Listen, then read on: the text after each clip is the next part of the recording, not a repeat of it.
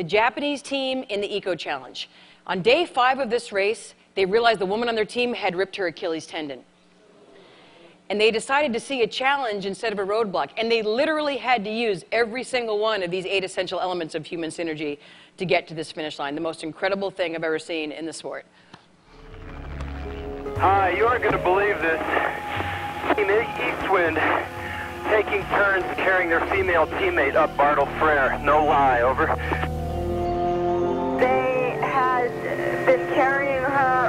their back for about six hours. She got off and with her uh, walking sticks was able to walk part way and they put her back on their back when they got to a steep, uh, another steep area over.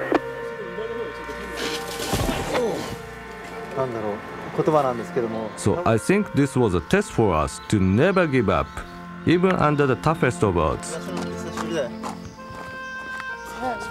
Most people couldn't even walk over Mount Bartle Frere. For them to carry that woman over that entire mountain, it's incredible. So cool that those guys left their egos at the start line and they made her the hero at the finish line.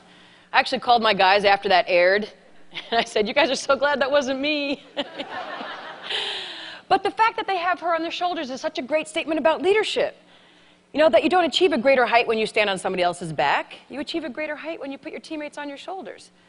And you don't inspire the people around you by getting out in front of them and showing them how amazing you are. You inspire your teammates by putting them on your shoulders and showing them how amazing and talented and useful and worthy they are. Because at the end of the day, as a leader, if you set out to inspire the people around you versus impress them, you can achieve both of those things, right? So now you guys have all kinds of adventure races ahead for you. Woohoo! Just like an adventure race, you know, you know what your finish lines are, but how you get there and if you get there for those clients and with those clients is really up to you and the teams that you lead and the people that you inspire. And the greater your goal, the less likely it's something that you can accomplish by sheer force of individual awesomeness. It's going to take all the synergy that you can create with the people around you.